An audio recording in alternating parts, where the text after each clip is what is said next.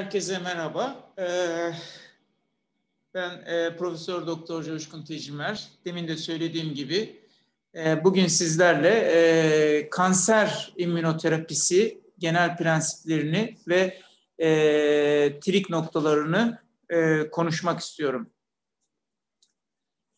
sorularınız olursa bunları çete yazarak bize gönderebilirsiniz. Biz de konferansımızın sonunda sizlere e, cevaplarımızı iletmiş oluruz.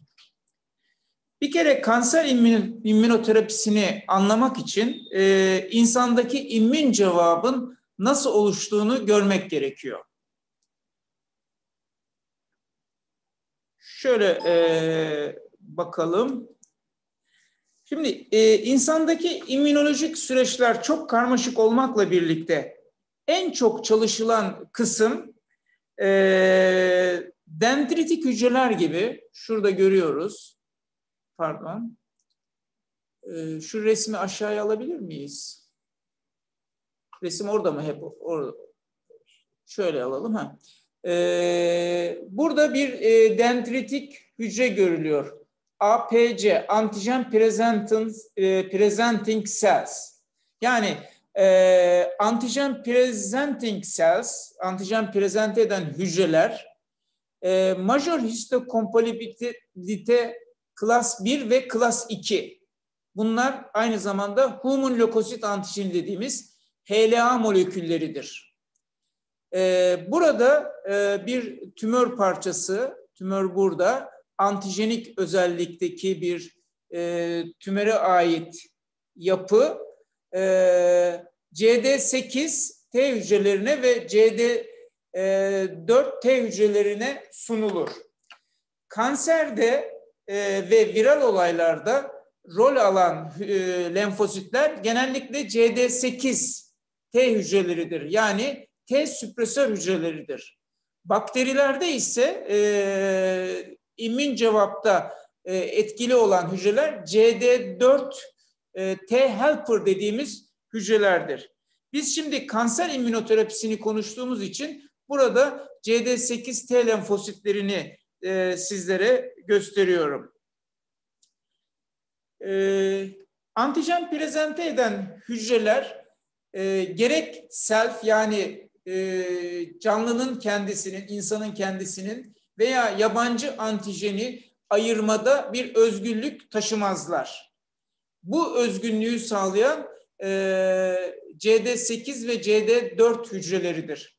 Demek ki antijen prezente eden hücreler e, bir şekilde antijeni sunuyor e, ve T hücreleri bunu tanıyor. Bunun arkasından bir sitokin salınımı ortaya çıkıyor. Genellikle interleukin 12, e, granzyme dediğimiz e, sitokinler ve şu e, şurada da gördüğünüz gibi e, CTLA4 prodüksiyonu oluşuyor, üretimi oluşuyor. Bu nedir? Sitotoksik T lenfosit antijen 4 üretimi sitoplazmada oluşuyor ve bu yüzeye geliyor. Burası çok önemli. CTLA4 üretiminin oluşması immün cevapla birlikte e, önemli. Buraya daha sonra tekrar değineceğiz. İşte bu CD8 T hücresinin aktive olmuş halidir. Stokinler salınmaya başladı ve tümör öldürülmesi durumu ortaya çıktı.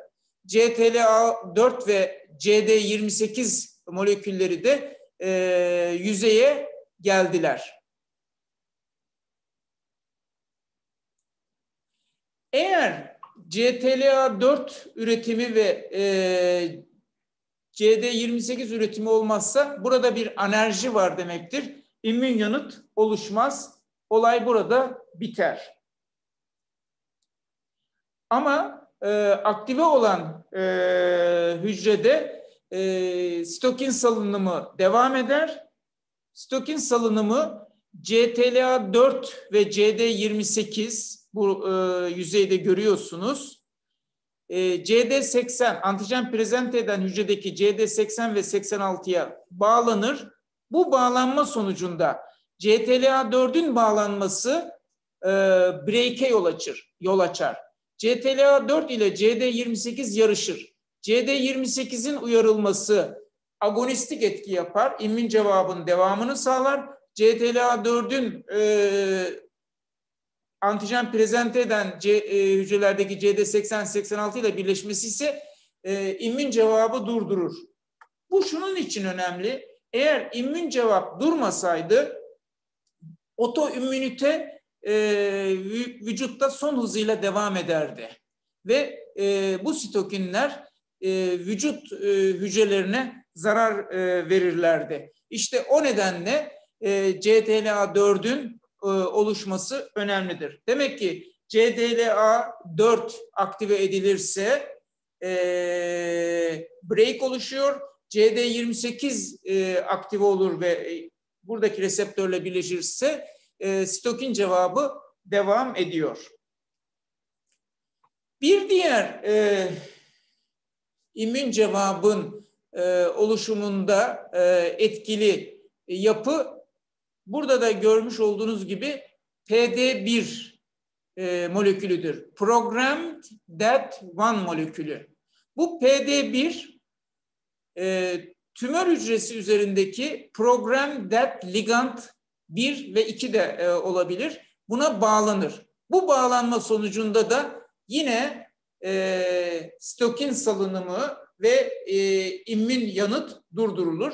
Demin de söylediğim gibi bunun durdurulması otoimmünitenin önlenmesi ve e, vücut hücrelerinin zarar görmesini önleyen en önemli e, moleküllerdir. Deme, e, demek ki e, e, immün cevabın e, oluşumunda bir agonistik bir de antagonistik e, faktörler var. Burada görmüş olduğunuz CD1 e, pardon PD1 ve e, demin sözünü ettiğimiz e, C e, e, T lenfosit 4 e, molekülü checkpoint noktaları olarak bilinir. Checkpoint inhibitörleri olarak bilinir.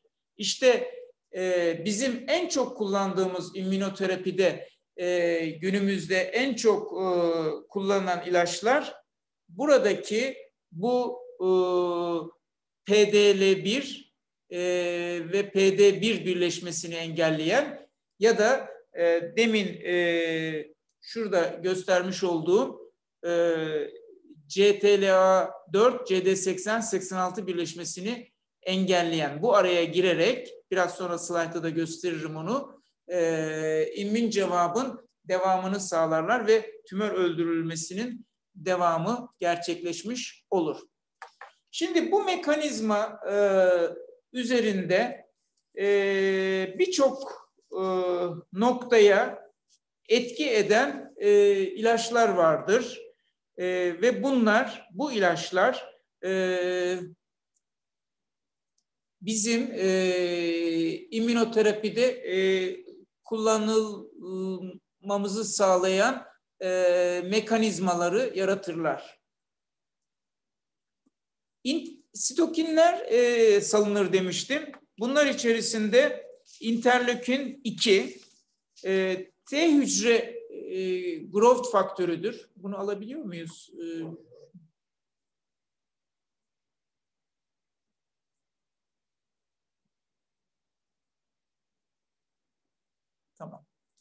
Ee, interleukin 2 e, T hücre growth faktörüdür. Melanom ve e, renal sel siyahda yüzde on etkili e, olduğu gösterilmiştir. E, checkpoint inhibitörlerinden önce e, sıklıkla kullanılmaktaydılar. E, e, ama günümüzde artık e, bu hastalıklarda kullanımı düşünülmemektedir. İmmün modülatör ajanlar e, lenalidomid ve e, pomalidomid multiple miyelomda kullanılır. İnterleukin 2 inhibisyonuna neden olan Ikaros family proteinlerini inhibe eder. Ikaros family proteinlerini inhibe eder. Interferon alfa özellikle 2B interleukin 12 gibi efektör hücre yanıtını artırır. e, yüksek riskli e, olgularda e, malin melanomda eskiden adjuvan tedavide kullanılıyordu. Şimdi artık checkpoint inhibitörleri nedeniyle kullanılmıyor. BC, BCG ise bildiğiniz gibi e, tüberküloza karşı bir aşı inflamatuar yanıtı aktive eder. Yüzeyel e, mesane sehada kullanılmaktadır. Bugün en çok üzerinde duracağımız checkpoint inhibitörleri ise PD1 veya PD ligand 1-2 inhibitörleri ya da CTLA4 inhibitörleridir. Sitotoksik T lenfosit asosiye protein veya antijen 4 inhibitörleri. E, bunlar e, günümüzde en çok kullanılan immünterapetik ajanlardır e, ve tamamen kanser immünoterapisine hakim olmuşlardır. O yüzden biz daha çok bunlar üzerinde duracağız. Slide hareket etmiyor.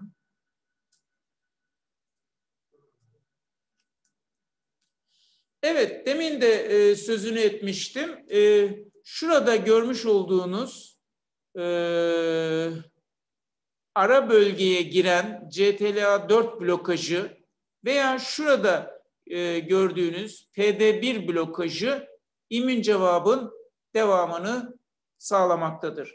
Günümüzde e, en çok kullanılan e, CTLA4 blokörü, blokörü ipilimumab'dır. E, PD1 ya da PDL1 e, ligandın blokörü olabilir. Bunlar da anti-PD1 e, blokörü olarak e, semiplimab, nivolumab pembrolizumab. Anti-PDL1 inhibitörü olarak da atezolizumab, avelumab ve durvalumab e, en sık olarak kullanılan ajanlardır. E, yakın zamana kadar biz e, bu ilaçlardan yoksunduk. Bunların çalışmaları e, yıllarca önce başlamıştır ve e, Nobel Tıp Ödülünü alan e, e, bilim adamlarından birisi de e, hatta e, birkaç kişi e, bu e, 30-40 yıl önce başlanan e, bu çalışmalarının sonuçlarının alınmasıyla e, gündeme gelmişlerdir. Yani immünoterapideki çalışmalar Nobel Tıp Ödülünü de kazandırmıştır. E, klinikte e, uygulanmaya başlaması e, yakın e, zamandadır.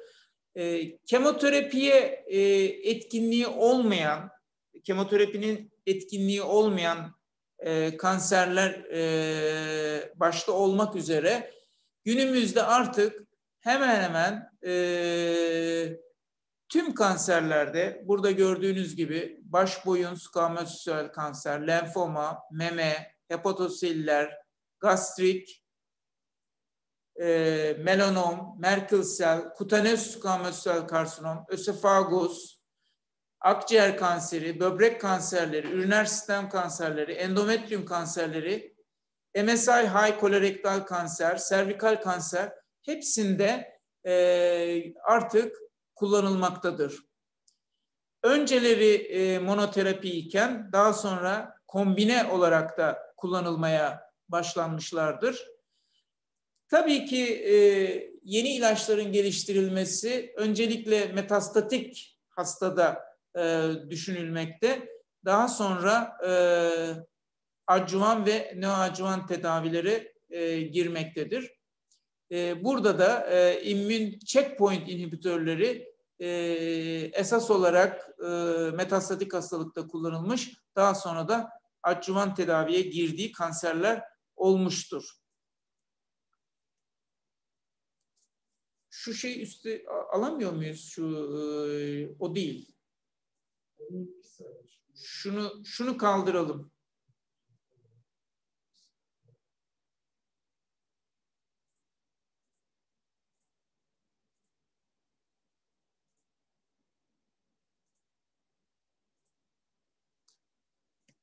Ee, immün checkpoint inhibitörlerinin e, kullanımının da dramatik yarar sağlayan sağladığı kanserlerden biri malin melanomdur, metastatik melanomdur.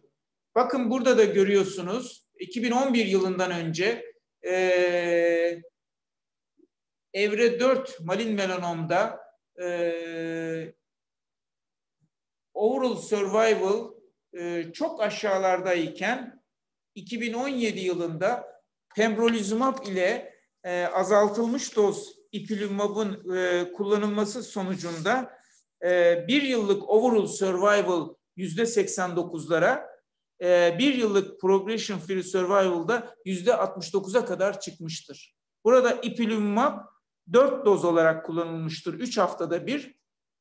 Pembrolizumab ise e, 2 miligram kilogramdan 3 haftada bir 2 yıl e, boyunca kullanılmıştır. Ve e, overall survival oranları çok e, yükselmiştir bu sayede.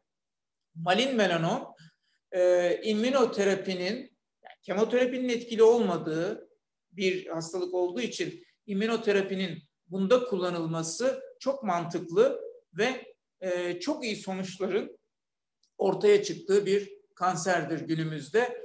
E, metastatik melanomdaki bu başarı e, riskli e, melanomlarda adjuvan tedavinde de e, immünoterapinin gündeme gelmesini sağlamıştır.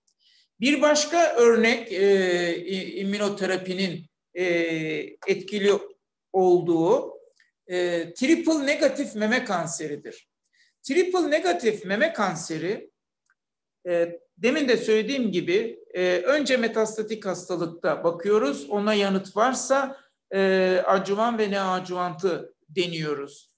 E, özellikle atezolizumab ve nab-paclitaxel'in metastatik e, triple negatif meme kanserinde e, overall survival avantajı sağlaması gözleri neoadjuvant ve adjuvant tedaviye çevirmiştir. Burada e, triple negatif meme kanserli, erken evre meme kanserli vakalarda standart tedavi karboplatin paklitaksel artı doksoepirubisin ve siklofosfamide pembrolizumab eklenmiştir 3 haftada bir ya da plasebo verilmiştir. Daha sonra pembrolizumab 27 hafta süreyle devam edilmiş. Diğer kolda cerrahi sonrası, diğer kolda ise plasebo e, verilmiştir. Ve e, primer sonlanım noktası olarak e, patolojik yanıta baktığımız zaman arada e, pembro kemo kolunda e, yüzde on dörtlük bir fark ortaya çıkmıştır. Pembro kemo kolunda yüzde altmış dört sekiz, e, plasebo kemo kolunda bu oran yüzde elli bir nokta ikidir. E, biz bunu PDL1 e, pozitivitesine göre e, değerlendirdiğimizde farkın e, devam ettiğini görmekteyiz. PDL1 pozitiflerde fark e, yüzde 14 burada görülüyor. PDL1 e, negatifte ise e, oran e, yüzde 18'dir sürpriz olarak. Ama her ikisinde de ister kemoterapi olsun, ister e, pembro kolu olsun, e, PDL1 pozitifinde yanıtlar buna, buna göre daha fazla bulunmuştur. Ve event free survival açısından değerlendirdiğimizde e, Keynote 522 çalışmasında 18 ayda e, oran yüzde 91'e yüzde 85 olarak bulunmuştur. Hazard ratio e, 0.63'tür. Henüz overall survival sonuçları olmadığı için e, neoadjuvant tedavide veya adjuvant tedavide triple negatif bile olsa, PDL1 pozitif bile olsa e, biz e, ve dünya da böyle e, meme kanserinin tedavisinde metastaz dışında henüz kullanmıyoruz. Yine bir başka çalışma e, Impassion 031 çalışması. Burada da atezo napaklitaksel ile e, atezo doksorubüsin siklofosfamid olarak devam etmiştir tedavi. E, diğer kolda plasebo eklenmiştir e, kemoterapiye. Cerrahi sonrası atezo e, devam etti. 11 doz daha. E, her iki grupta e, karakteristiklerin aynı olduğu, e, dengeli bir dağılımın olduğu görülmekte. Ve burada da e, patolojik siyara baktığımız zaman e, atezo kemoterapi kolunda yüzde 57 diğer kolda ise yüzde 41'lik bir yanıt olmuş. Bu istatistiksel olarak anlamlı bulunmuştur. Yüzde 16,5'luk bir fark. Burada da e, PDL1 pozitifliğine veya negatifliğine göre değerlendirme yapıyoruz. Burada e, beklendiği gibi PDL1 pozitifinde yüzde 19,5 daha fazla bir fark bulunmuş. PDL1 e, negatifte ise yine de yüzde 13,3 e, immünoterapi kolunda e, daha e, iyi bir sonuç elde edilmiştir. Her iki kolda da e, immünoterapi verilen kol kemoterapi ile birlikte daha iyi sonuç vermiştir. Bu, bu çalışmada da henüz e, overall survival e, olmadığı için e, henüz neoadjuvant tedavide kullanmıyoruz meme kanserinde. Impassion 030 da çalışması da devam ediyor. Bu e, bir e, adjuvan e, tedavi çalışması. Bir kolda atezo paklitaksel, diğer kolda paklitaksel vardır. E, çalışma devam etmektedir. Overall survival sonuçları henüz bilinmemektedir.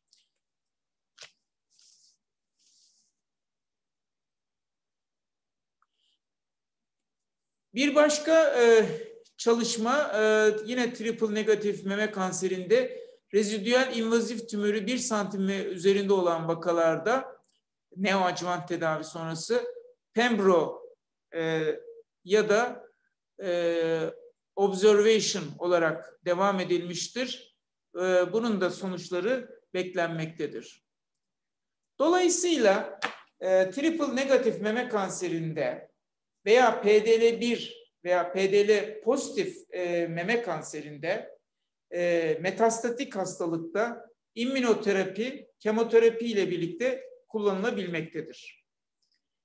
Ama henüz overall survival sonuçları çıkmadığı için neoadjuvant ya da adjuvant tedavide meme kanserinde immünoterapi e, beklemededir. E, sonuçlar çıktıktan sonra da bu e, kullanıma girebilir. İmmünoterapinin en etkili olduğu e, kanserlerden biri e, akciğer kanseridir. Non-small cell e, akciğer kanseridir. Burada erken çalışmalardan Keynote 024 ve Checkmate 026'dan kısaca bahsetmek isterim. Keynote 024'te pembrolizumab kemoterapiye karşı, e, Checkmate 026'da da nivolumab grubu kemoterapiye karşı kullanılmıştır. Aradaki bir farka dikkatinizi çekmek isterim.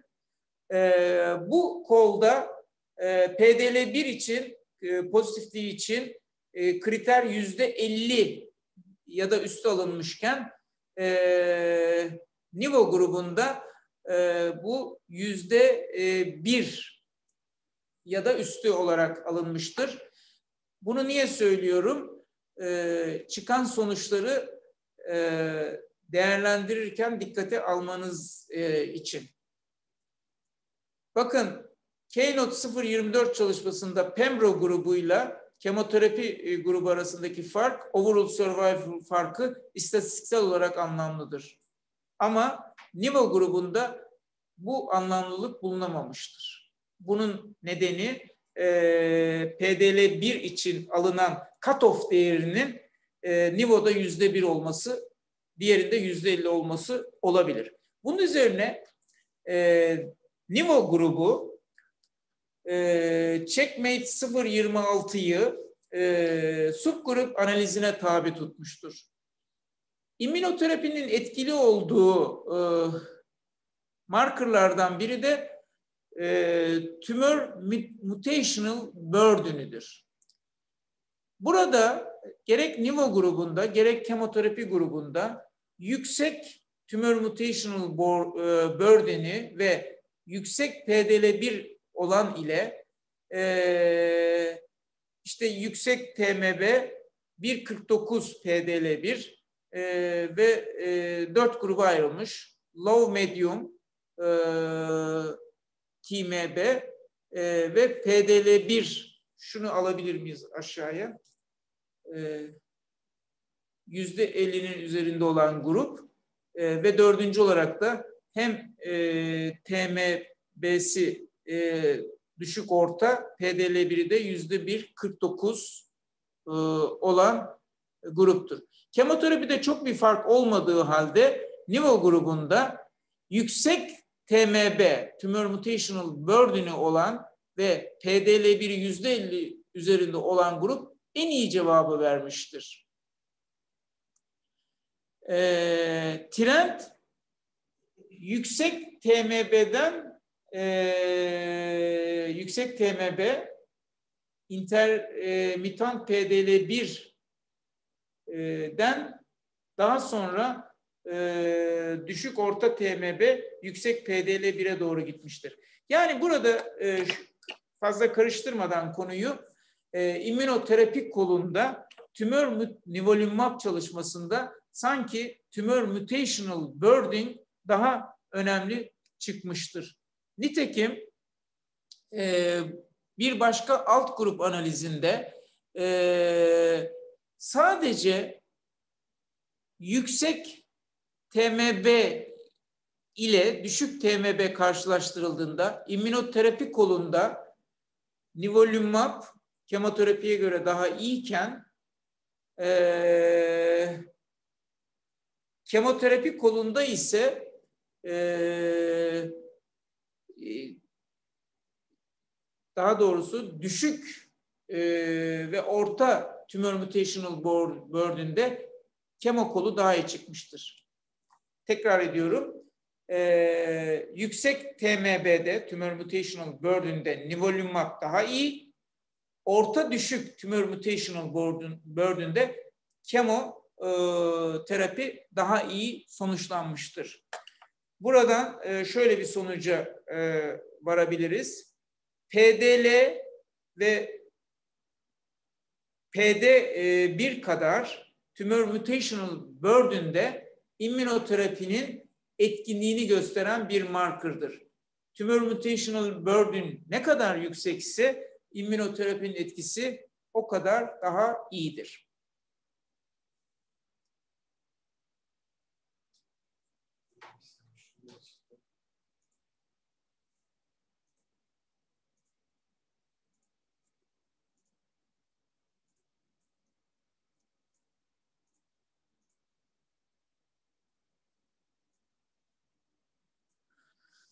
Tabii Nivo grubu e, çalışmalarında e,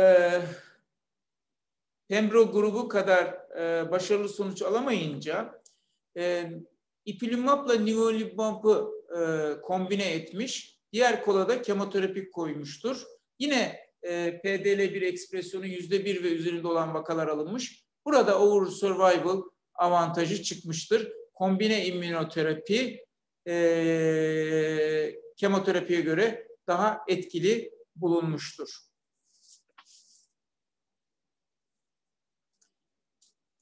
Şimdi sonuç olarak akciğer kanserlerinde, non-small cell akciğer kanserlerinde PDL1 yüzde 50 ve üzerinde olan vakalarda tek başına pembrolizumab. PDL1 yüzde 1 ile yüzde 50 olan vakalarda kemoterapi artı immünoterapi birlikte yüzde birin altında olan vakalarda ise kemoterapi birinci ajan olarak seçilmelidir. Metastatik non-small cell akciğer kanserinde tabi driver mutation'ı yani EGFR, ALK ve ROS1 genleri negatif olan hastalar için. Nivolumab artı ipilimumab kombinasyonu da Pembro'nun kullanılamadığı durumlarda birincil tedavide kullanılabilir. Şimdi immünoterapi e, cevap paternlerine bakalım. Bu e, kemoterapiye göre oldukça yeni bir tedavi olduğu için e, bununla ilgili bilgilerimiz de giderek artmaktadır. E, bir kere imajlarda kötüleşme olması başlangıçta hemen tedaviyi kesilmesini gerektirmez. Eğer hastada semptom yoksa e, tedavi, immünoterapi devam etmelidir. Çünkü kemoterapiye göre immünoterapide yanıtlar daha uzun süre devam edebilir. Yanıtın ortaya çıkması. Bir de stabil hastalık olduğu zaman biz kemoterapileri e, kesebiliyoruz e, zaman zaman. Ama immünoterapide stabil hastalık uzun süre devam edebilir. Bu yüzden stabil durumların görüldüğü immünoterapi tedavilerinde de e, immünoterapiye devam edilmesi uygun olur. Komplet yanıt e, RESIS kriterleri immune related e, olarak da düzenlenmiştir. Tam yanıt tümörün olmadığı durum, tümörün tamamen kaybolduğu durumdur.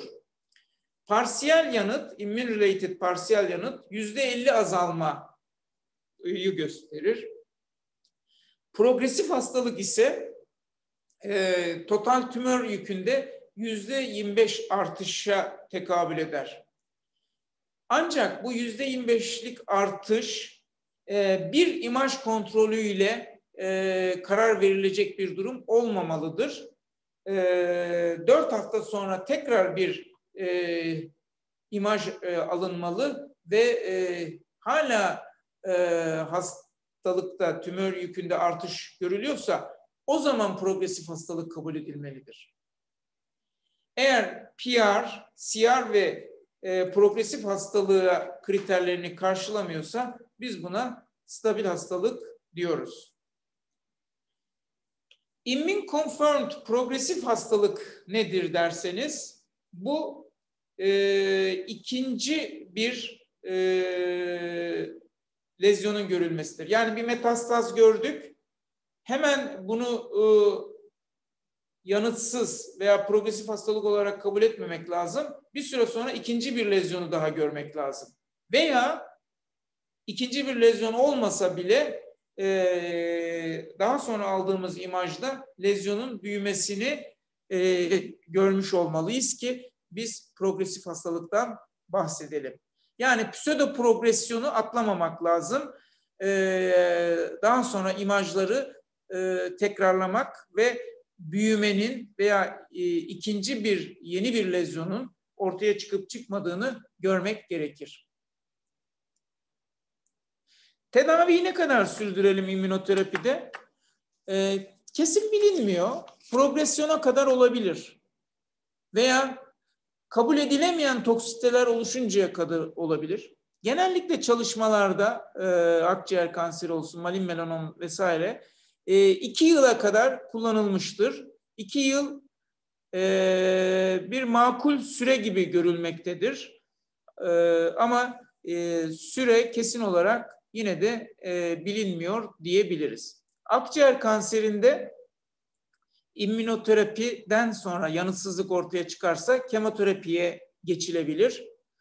Ama e, immünoterapiden aylar veya yıllar sonra tekrar bir progresyon olmuşsa immünoterapiye tekrar dönülebilir. İmmünoterapi bir opsiyon olarak kalır.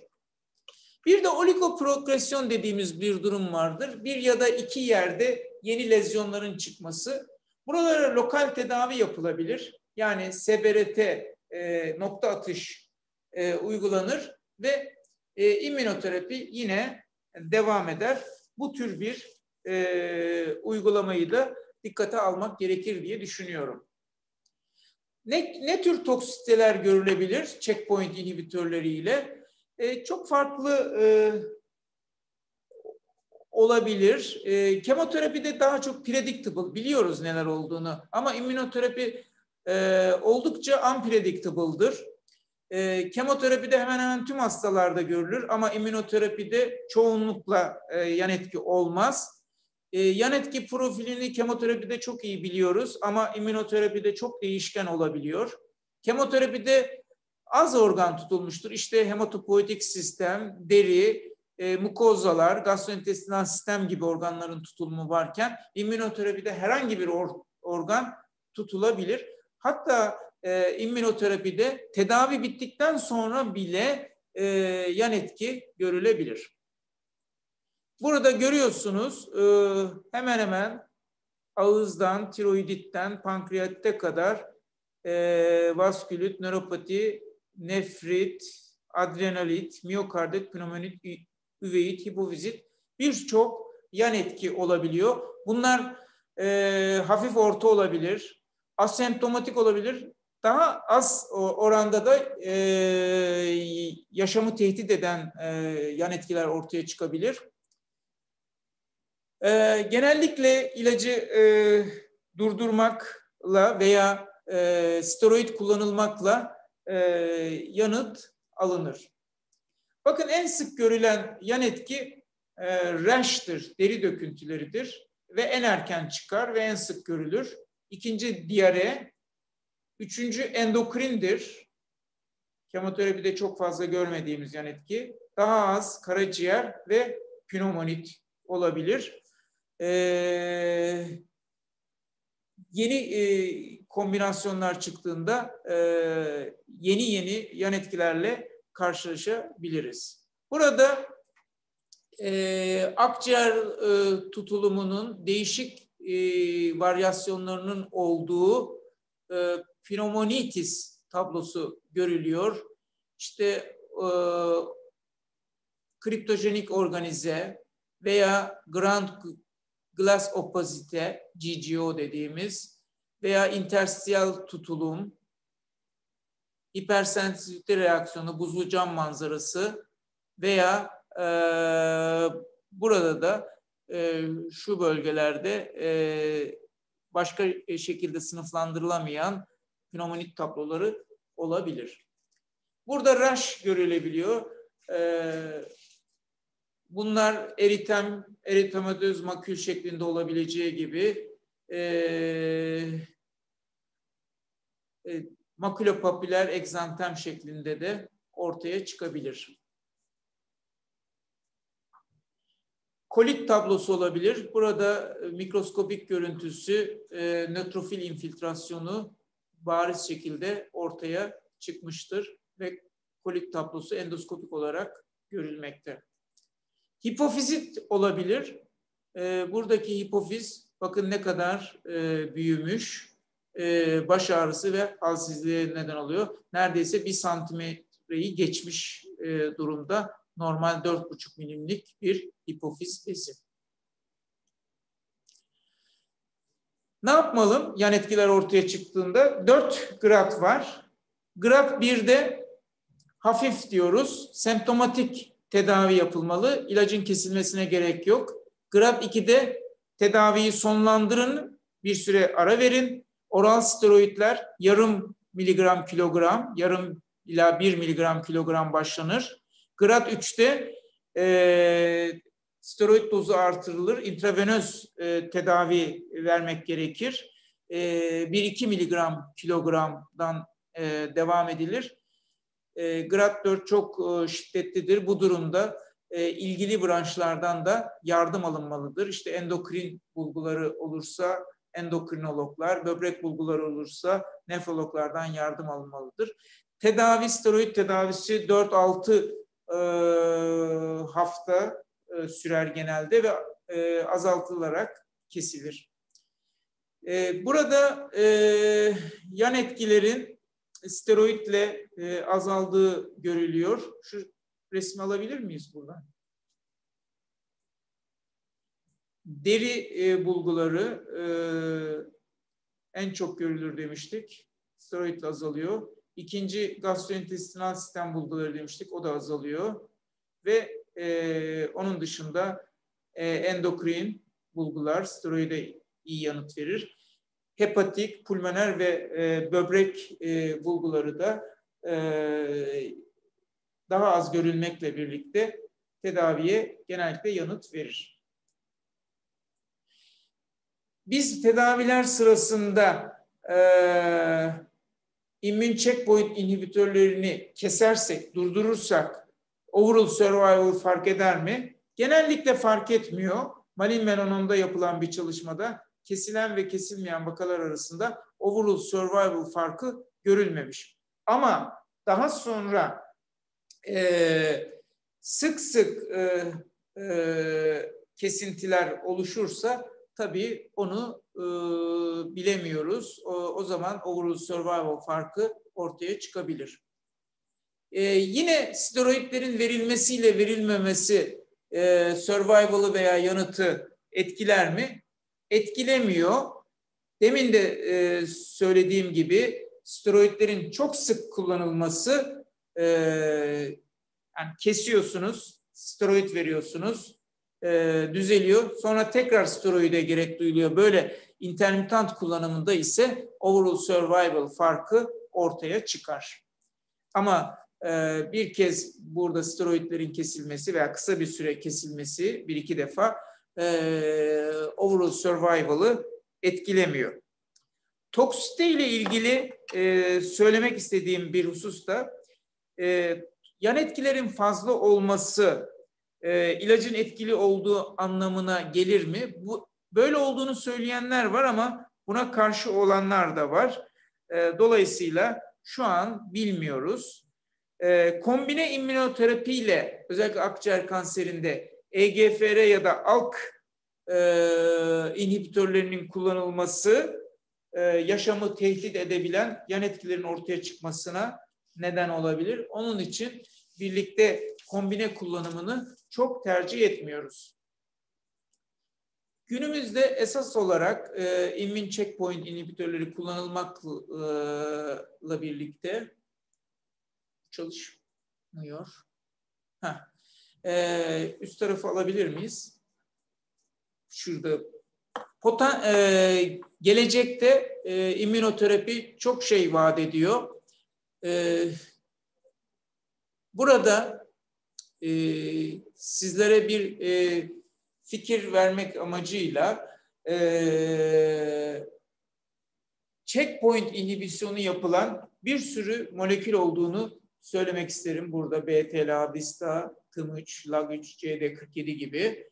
E, bir de demiştik ki bazı moleküller e, stimülasyona neden olabilir. Bunlara yönelik yine burada da gördüğünüz gibi e, farklı moleküller var. Bunlar üzerinde çalışılıyor. E, immün checkpoint blokajı günümüzde kullanılabiliyor. İpi ile nivo metastatik melanomda veya durvalumab ile bir başka CTLA4 inhibitörü tremelimumab e, birlikte kullanılıyor. Tremelimumab tek başına etkili olmadı. Belki dozla ilgili. Bu birlikte deneniyor. E, T hücrelerini manipüle etmek, alıp e, kimerik e, olarak hazırlayıp tekrar vermek, CAR T-sel tedavisi veya tümör infiltre eden lenfositlerin dışarı alınıp genişletilip tekrar verilmesi veya CD3'e yönelik tedaviler de e, ilerisi için umut vaat ediyor. Onkolitik virüsler, checkpoint inhibitörleriyle birlikte onkolitik virüslerin kombinasyonu e, veya e, tümör mikroenvironment'ına e, etki eden tedaviler, işte bunlar natural killer sellerin güçlendirilmesi, e, makrofajlar üzerine etkili tedaviler ve indolamin 2-3 deoksigenaz 1 üzerine e, etkili tedaviler. E, gelecekte belki e, yararlı sonuçlar e, sağlayabilir. Vaksinler içerisinde günümüzde en çok e, kullanılan tek standart e, tedavi rutin uygulamaya girmiş Sipileucel T'dir prostat siyahda kullanılan e, başka kanserlerde yok ama bu konuda da çalışmalar devam ediyor. Bu bir daha başlangıç. Checkpoint inhibitörleri e, immünoterapide bir başlangıç.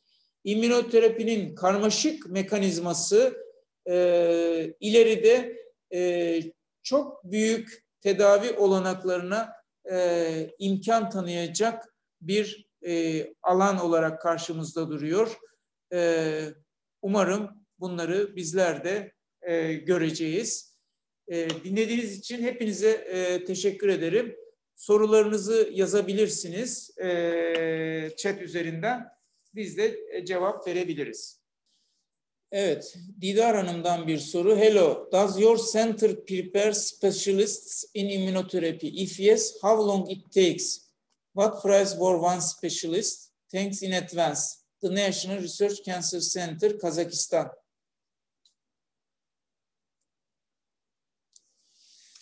Uh, actually, uh, nowadays, uh, we don't have immunotherapy program to educate. We are uh, applying, administering immunotherapy in our center in different cancers, but uh, we are not giving uh, education uh, on that. But uh, if you uh, contact uh, with the administration of Florence Nightingale hospitals by email or uh, any other contact method, they can answer correctly and neatly. İkinci soru. Beta glukanlar omurga verilmesi etkili mi ve kaç ay? Beta glukonlar onkoloji hastalara verilmesi etkili mi ve kaç ay? Beta glukon, immunex vesaire e, bunları biz e, pek kullanmıyoruz. Etkili olduğunu da e, çok düşünmüyoruz. E, ama piyasada bu tür ilaçlar e, veriliyor. E, ne kadar e, etkili olduğu çok tartışmalı. Biz onu immünoterapi kategorisine almıyoruz. Başka soru var mı? Evet, e, soru yok herhalde. E, hepiniz katıldığınız için çok teşekkür ederiz. Hepinize iyi günler diliyorum.